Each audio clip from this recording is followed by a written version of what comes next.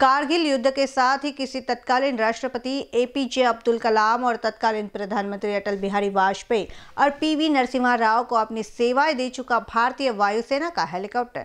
अब फुटाला परिसर में नागरिकों के दर्शनार्थ फुटाला सौंदर्यकरण प्रकल्प के तहत रखा जाएगा। यह हेलीकॉप्टर वायुसेना नगर एयरफोर्स स्टेशन में रखा हुआ था। यहाँ से इसे हासिल कर महामेट्रो ने इसे बुधवार सुबह फुटाला के किनारे लाकर रखा। महामेट्रो ने यहाँ आठ फीट ऊँचा प्लेटफॉर्म बनाया है, जिस पर यह हेलीकॉप्टर रखा गया। यह M I L M I आठ हेलीकॉप्टर तत्कालीन सोवियत यूनियन 1980 में बनाया था। यह 2020 तक सेवा में रहा। यह बहुपयोगी हेलीकॉप्टर यात्रियों के साथ चार टन कार्गो का परिवहन कर सकता था। इसे आगे चलकर वायुसेना ने वीआईपी सलून में तब्दील किया और इसमें वॉशरूम भी बनाया गया।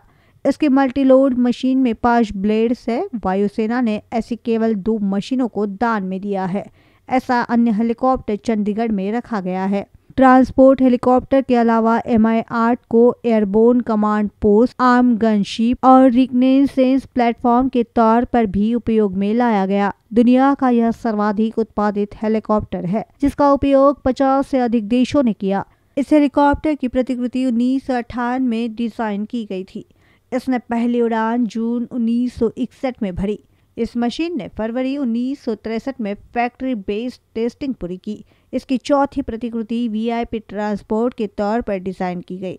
उन्नीस में इसके रूटर को चार के बजाय पाँच ब्लेड का किया गया, ताकि कंपन कम आए।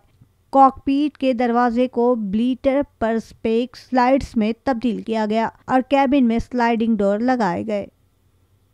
कैमरा पर्सन माइकल रामपुरी के साथ क्षितिजा देशमुख बी न्यूज़ नागपुर।